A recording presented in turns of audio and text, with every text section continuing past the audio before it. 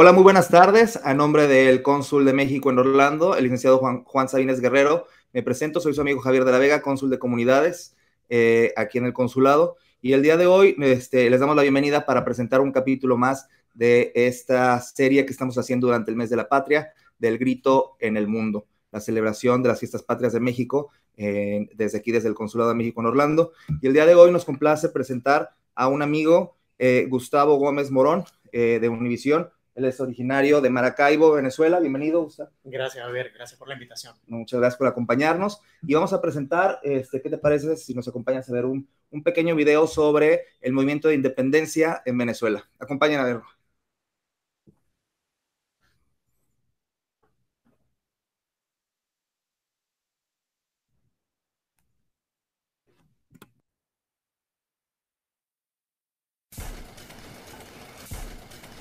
En 1808, Caracas era una capitanía, parte del virreinato de Nueva Granada. En Haití, una isla muy cercana a Venezuela, los esclavos azucareros se encontraban en una violenta revolución por su libertad. También en 1808, en un barco inglés, llegó a Caracas la primera imprenta. Con ella se difundieron rápidamente las noticias de España y la rebelión en Haití. Ambas tenían a los caraqueños temerosos y en incertidumbre. La gota que derramó el vaso fue que el gobernador de Caracas estuviera a favor de los franceses. La gente se lanzó a las calles para apoyar a Fernando VII. Igual que en otras ciudades de América, el ayuntamiento de Caracas intentó formar una junta de gobierno local mientras no hubiera rey legítimo. Al principio el gobernador parecía apoyar la idea, pero se echó para atrás y dio órdenes de arresto y destierro a todos los involucrados. Más tarde, esto impulsó la sublevación armada que encabezó Simón Bolívar.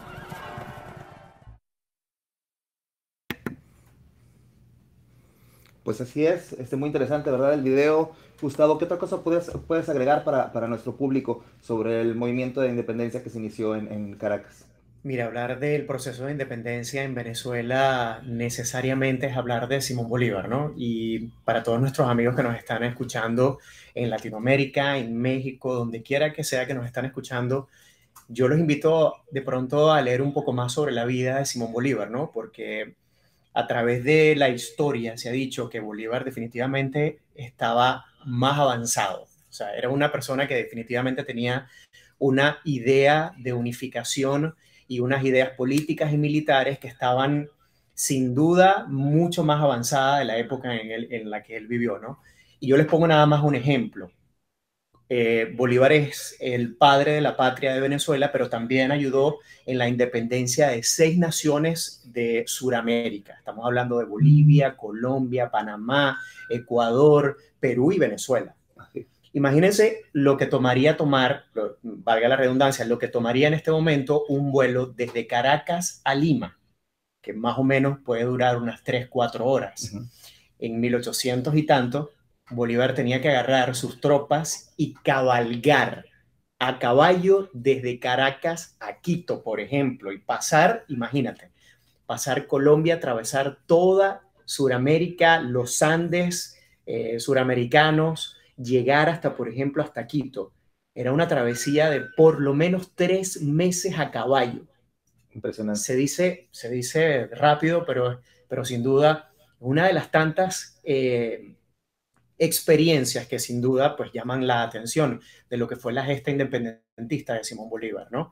Eh, por eso les digo que la vida de Simón Bolívar, hablar de la independencia, entender lo que hizo Bolívar. Eh, habría que hablar también de que Simón Bolívar fue una de las, o viene o venía de una familia eh, pudiente de Caracas. Eran personas que tenían tierras, que tenían recursos económicos. Era una familia pudiente. Y bueno, él abandonó toda esa comodidad que tenía en su casa, se interesó por la política, se interesó por las artes eh, militares y fue sin duda, obviamente, eh, el líder de esa gesta independentista que comenzó a ganar terreno una vez que ocurrió lo que ocurrió en Haití. Porque sin duda, una vez que ocurre esa sublevación en Haití, comienza a replicarse en buena parte de, de, Sudamérica, ¿no? Y, eh, y obviamente Bolívar se centró en lo que era prácticamente su idea fundamental, que era la Gran Colombia. O sea, hablar de una, de una comunidad de países puede ser muy modernista, porque lo, los vemos hoy en día, lo vemos en, en, en, la Unión Europea, por ejemplo, ¿no? que es la gran Unión Europea que representa a, las grandes naciones de, Europa. Y en 1800 y tanto, esa era la idea de Simón Bolívar, convertir a, la, a Sudamérica en una gran nación, comenzando obviamente por Venezuela, la Nueva Granada, que era Colombia, y Ecuador. Muy bien. Lamentablemente, pues esa idea no cuajó por, por muchas, que no vamos a entrar en este momento, por muchos eh, datos, pero más o menos hablar de la independencia es definitivamente hablar de Simón Bolívar. Así es. Y bueno, y hablar de, este sueño de Bolívar es hablar de una, de una Latinoamérica unida. Sin duda, sin duda, como te digo. Eh, obviamente, eh, ese pensamiento de Simón Bolívar de crear una gran nación, de una gran Colombia, que era, bueno, era el sueño de Bolívar, unificar a Perú, eh, involucrar a Ecuador, a Bolivia, a Colombia, a Venezuela y convertir ¿no? Eh, eh, esa, esa idea de Bolívar en una gran nación, pues lamentablemente no era la época correcta. Obviamente, pues las comunicaciones en ese entonces pues eran muy precarias y bueno, el sueño de Bolívar quedó truncado, ¿no? Pero hoy en día podemos hablar de otros mecanismos de integración, ¿no? Han habido nuevos acercamientos, ¿no? Para tratar de hacer de la comunidad de países latinoamericanos y del Caribe una nueva unidad. Sí, eh, han habido, por ejemplo, bueno, está lo que acabamos de ver en México, ¿no? El CELAC, eh, esa unión de, de, naciones suramericanas, eh, que por cierto fue una idea de, Hugo Chávez hace algunos años antes que falleciera, un poco para, no sé, para hacer contrapeso probablemente a, a, a la ONU, ¿no? A, Naciones Unidas, a la Organización de Estados Americanos. Pero bueno, es un poco también el espíritu del Mercosur, por ejemplo, ¿no? Eh, en fin, yo creo que hay varias iniciativas que definitivamente eh, buscan ese, ese, ese objetivo, que es por lo menos reunificar. hacer reunificar y hacer una, por lo menos esta parte del continente americano, pues hacer una, una unión de países, aunque sea a través de, de, un mecanismo de integración como este, ¿no? Claro, y hacer un bloque para los intereses que tenemos en común, correcto, poder eh, perseguirlos y alcanzarlos más fácilmente. Correcto. Como el equipo que somos en Latinoamérica. Sin duda, sin duda. Ojalá y, y de verdad todos esos, eh, todas esas iniciativas, el CELAC, eh, la Organización de Estados Americanos, el Mercosur, y de alguna manera pues cumplan su función, ¿no? Que para mí es eh, eliminar o ir borrando poco a poco las fronteras que existen en Sudamérica y de crear una región un poco más eh, fuerte, fortalecida, con un intercambio económico mucho más fluido, con um, la posibilidad de que, de que nosotros los suramericanos podamos viajar fácilmente y, con un solo pasaporte poder entrar a los diferentes destinos que hay en Sudamérica ese sería como que definitivamente cumplir el sueño de Bolívar, ¿no? Así es, y ojalá que, lo logremos muy pronto. Y hablando de viajes eh, de Venezuela, ¿qué nos recomiendas visitar cuando vayamos a Venezuela? Mira, eh, yo, yo soy de Maracaibo, que es la segunda ciudad de Venezuela. Eh, Maracaibo está pasando, bueno, ya sabemos que Venezuela está pasando por, por muchas dificultades. Más que todos los servicios públicos, definitivamente es lo que más afecta el turismo en Venezuela pero eh, las playas de Venezuela son maravillosas, ¿no? Eh, tenemos, me, estabas mostrando unas fotografías del Santo Ángel, por supuesto que hablar de Venezuela y del turismo, ahí está, sin duda es hablar del Santo Ángel. Una belleza. Es, una, referencia del turismo venezolano en la Gran Sabana, eh, bueno, prácticamente un monumento cultural, natural que sin duda yo los invito a visitar y por supuesto la capital, que que está un poco, eh, bueno, ahorita en este momento Caracas está agarrando otros aires, a través de las redes sociales se ha dicho que, que sin duda Caracas está un poco mejorada y siempre es una, es atractivo, ¿no? Eh, conocer las capitales de Sudamérica. Pero sin duda, y las playas, por supuesto, las playas de, de, la costa del Caribe venezolana son maravillosas y la isla de Margarita, la isla de Margarita. Conocida mundialmente, ¿no? Como un destino turístico. Sin duda, sin duda. Son playas definitivas que son, definitivamente que son maravillosas y, yo los invito a visitar los Cayos, por ejemplo, también en las costas del centro de Venezuela y los Roques también.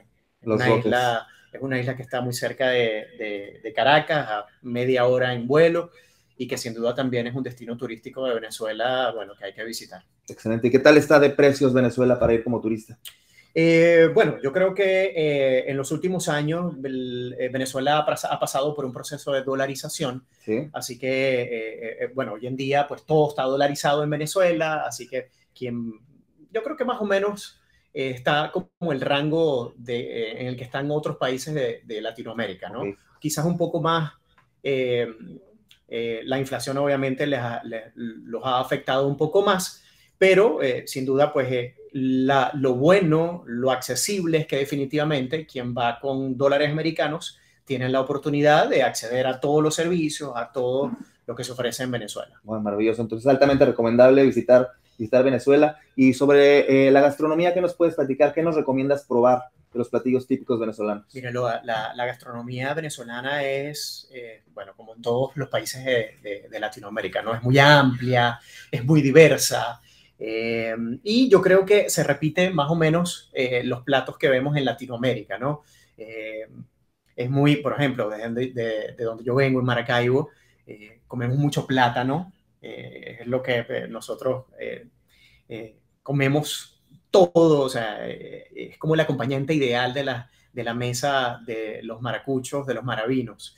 Pero en Venezuela, pues hay comida de mar, hay, en Caracas hay muy buena gastronomía, siempre Caracas tuvo como la, la, fama de que definitivamente tenía muy buenos restaurantes y todavía han, se han mantenido algunos emprendedores que han querido como mantener esa, esa buena fama que tiene eh, Caracas por su gastronomía, es muy diversa, pero siempre vemos lo que vemos en nuestros países de Latinoamérica, ¿no? Arroz, frijoles, caraotas, nosotros llamamos a los frijoles las caraotas, y el plato tradicional venezolano es el pabellón.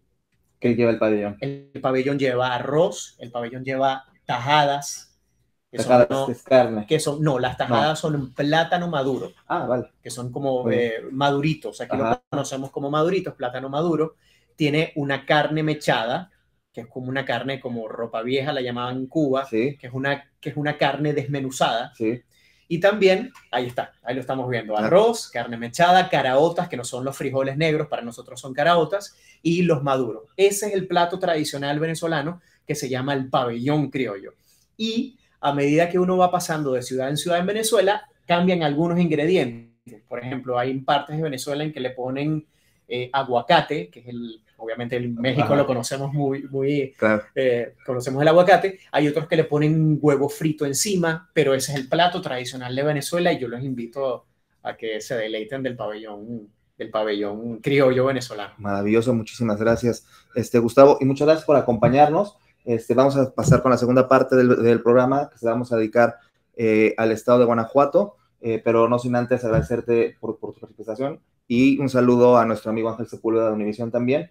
Este, y gracias por siempre estar Univisión al pendiente desde aquí de las actividades del Consulado de México. Gracias a ustedes por la invitación, gracias al cónsul Juan Sabines por estar siempre en sintonía con todo lo que hacemos aquí en Noticias Univisión Orlando. A ti, Javier, por la invitación y bueno, estamos a la orden. Muchísimas gracias. Y a continuación queremos invitar a todo el público que nos está, que nos está viendo a que nos acompañen a ver esta cápsula eh, turística de Guanajuato.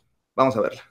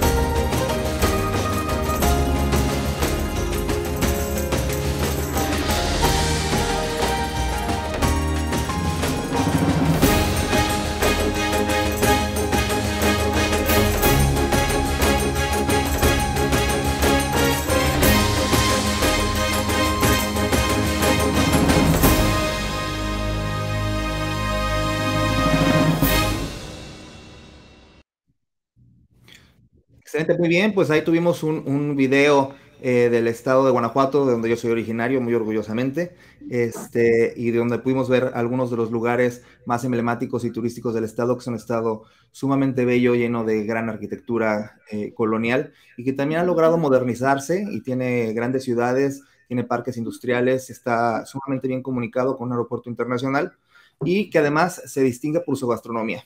Y hablando de gastronomía, en esos momentos nos vamos a conectar con el restaurante Cocina Tradicional Mestiza, en donde su chef Sarita Arbizu nos va a preparar unos ricos platillos.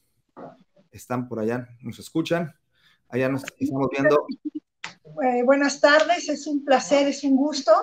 Y pues antes de darle la voz a, a nuestra chef, quiero presentarles, aparte de su staff, de aquí de su restaurante, eh, a la señora María Elena Rico y a la señora Paula Alba, que es parte fundamental eh, pues de este, de este bonito restaurante, cocina tradicional mexicana.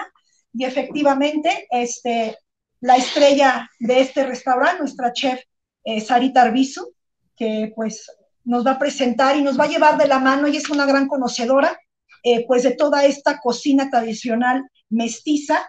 Eh, estamos ubicados en el municipio de San José Iturbide, estamos al noreste de nuestro bello estado, que es Guanajuato. Muchísimas gracias, bienvenidos a Cocina Tradicional Mestiza, es un gusto para mí saludarlos. Pues nos encontramos, como dijo Alma, en el bello municipio de San José Iturbide, Guanajuato, un municipio que se encuentra ubicado el noreste del estado. Y Cocina Tradicional eh, específicamente está ubicado en este bello municipio de San José Iturbide. Eh, aquí queremos ofrecer al visitante una prueba de la gastronomía tradicional que nos enorgullece que tiene nuestro municipio.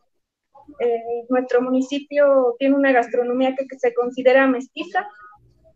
Es por eso el nombre de este restaurante, Cocina Tradicional Mestiza y su gastronomía pues se complementa de muchas cosas, se complementa de productos de recolección, como es eh, recolección de campo, como son las habas, las calabacitas criollas, eh, las tunas, en este caso tenemos una presentación, así como se acostumbra en muchas familias a, en esta temporada de tunas a recolectarlas, que usan su penca de maguey, al mismo tiempo, ahorita es temporada de colonche, es una bebida prehispánica elaborada con jugo de tuna.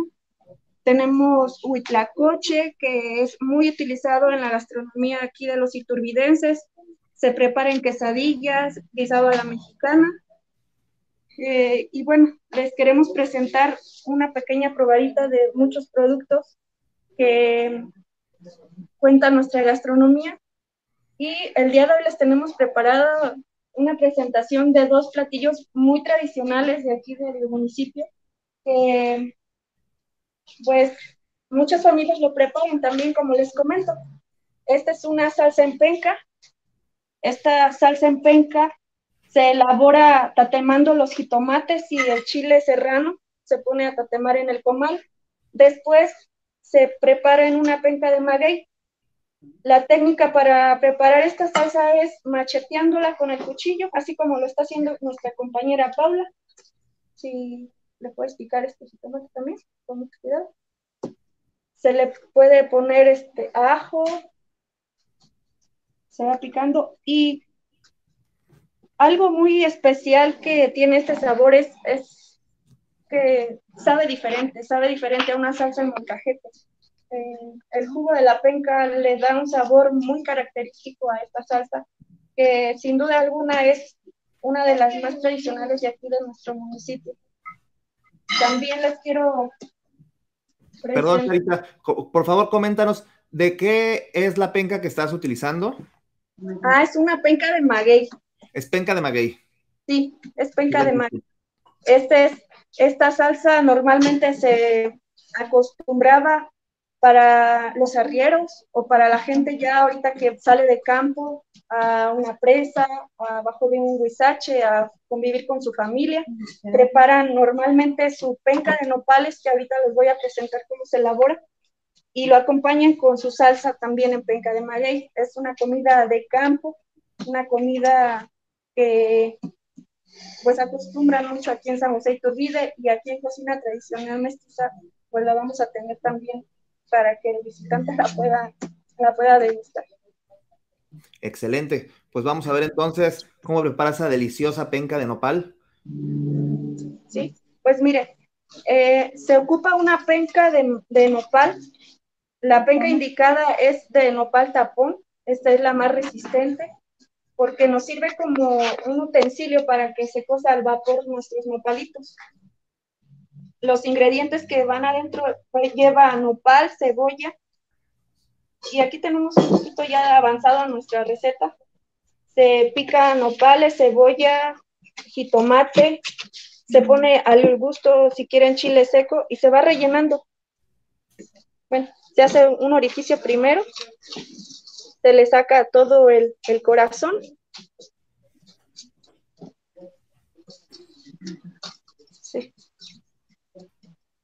Se saca todo el corazón para que quede un huequito y ahí podamos meter nuestros nopales.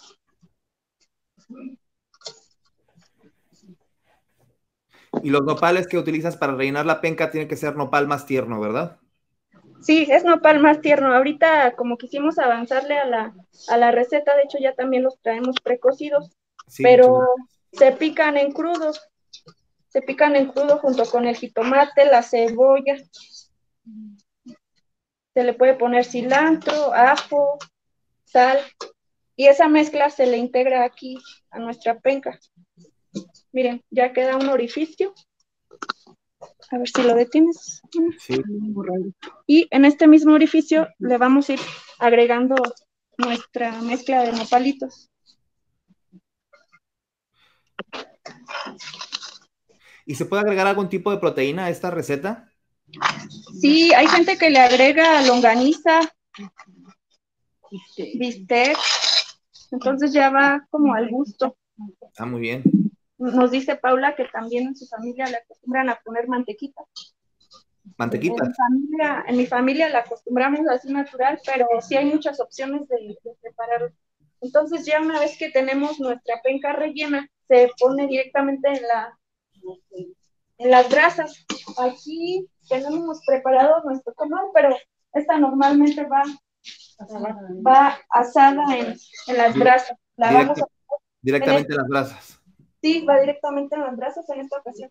La voy a poner aquí sobre el comal. Y de este lado les tengo ya presenta, una presentación de cómo queda la pena. Wow, fabuloso. Quiero decirles que se me está haciendo agua a la boca nada más de ver estos platillos tan deliciosos que está preparando Sarita. Sí, entonces bueno, ya este, se abre normalmente hacia la mitad y, ya es aquí como, como queda. Wow, se ve fabuloso, Sarita. Se ve sumamente delicioso y quiero pedirles por allá que se echen un taquito a nuestro honor, ya que nosotros no podemos echárnoslo por acá. Entonces, mm, vamos a, a calentar una tortilla para, para que vean cómo se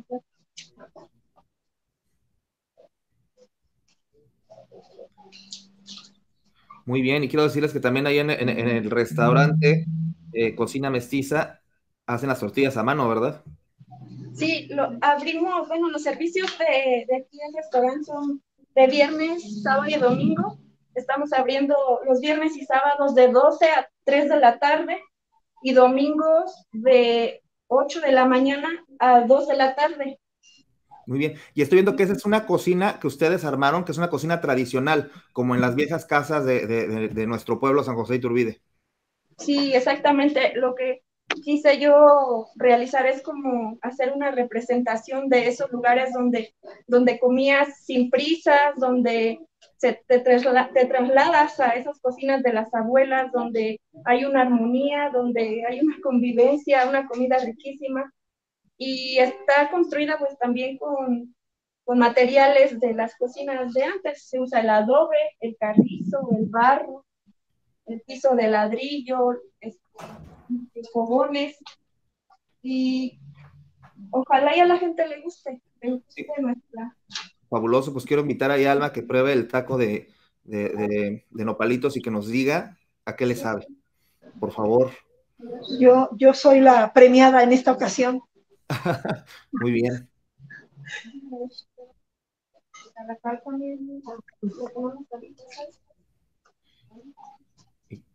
Y que le pongan salsita, esa salsita de la penca también se ve buenísima, qué maravilla.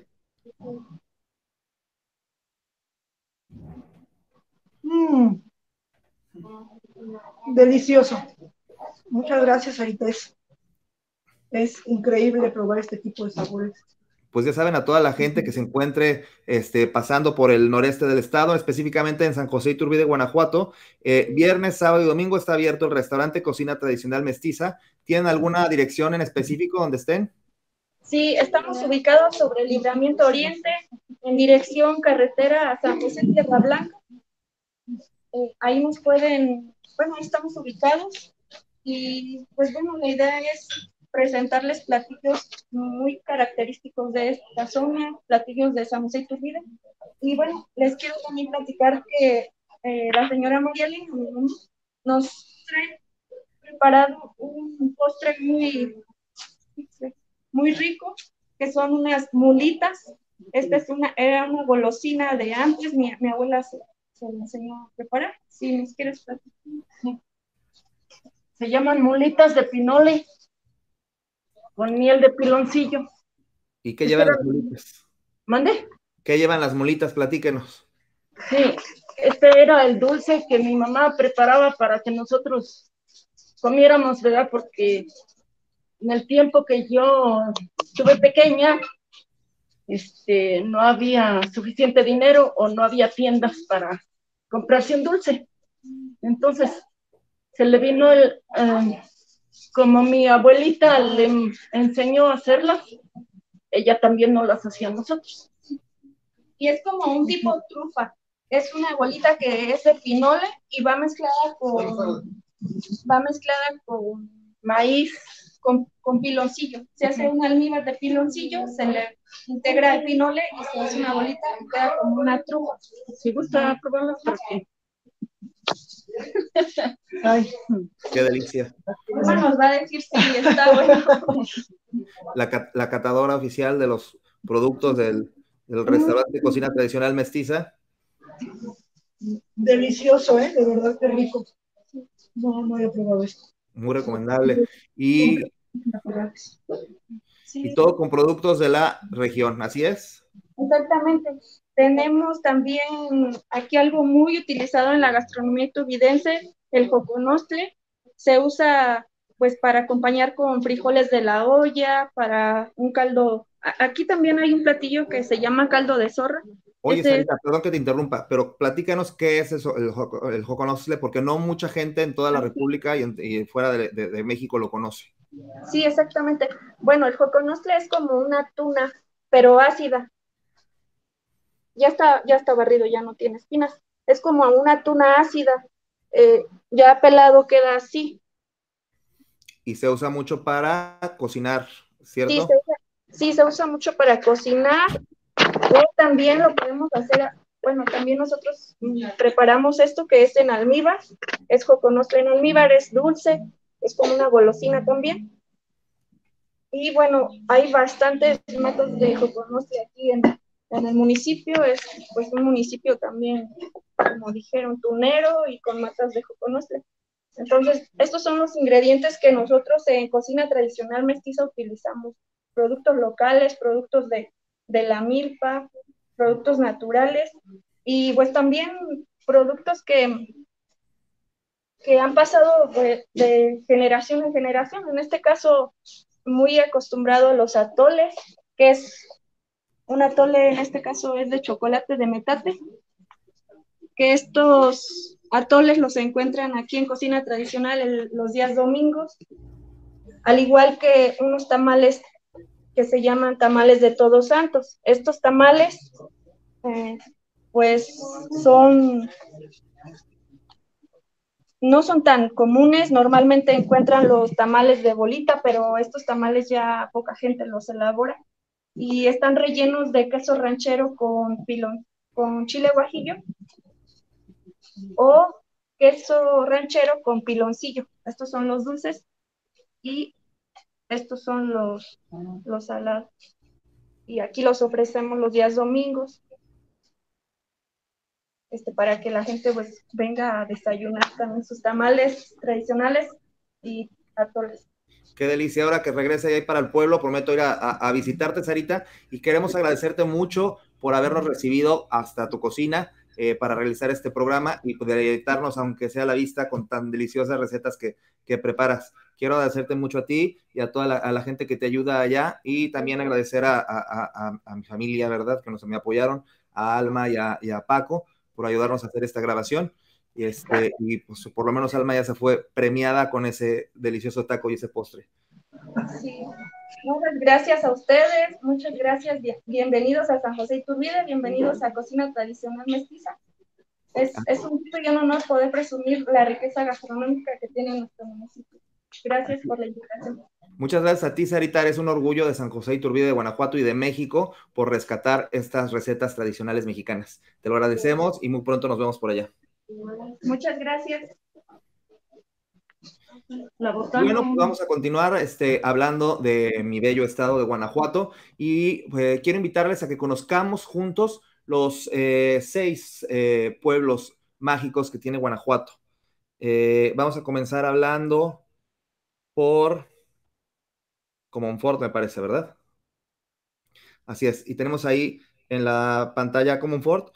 Comonfort es un, es eh, un, pueblo que es de los que últimamente se agregaron a la lista de pueblos que son eh, mágicos, pueblos mágicos de México, y es eh, muy tradicional y muy conocido por esta iglesia que estamos viendo, la parroquia de San Francisco.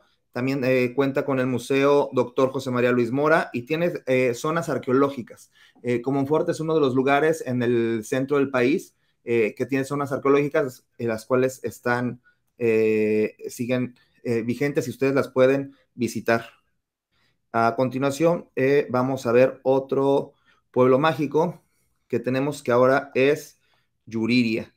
Yuriria es muy famoso, su nombre proviene del, lago que, con el cual colinda, que es Yuriria, Pundaro o lago de sangre, que es uno de los grandes atractivos que tiene este, este municipio y este pueblo mágico, y además que tiene gran cantidad de templos y de parroquias que ustedes pueden visitar en una, en una ruta, eh, que tienen unas eh, preciosas fachadas y que son verdaderas joyas arquitectónicas de la colonia mexicana.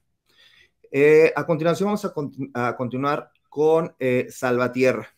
Como ven, Guanajuato se, se, caracteriza por tener grandes monumentos eclesiásticos. Guanajuato, como ha sido una tierra muy, muy, muy fértil y de mucha producción y de gran empuje económico eh, desde la época colonial, eh, se, le, se crearon grandes iglesias y grandes parroquias eh, en honor a, la religión.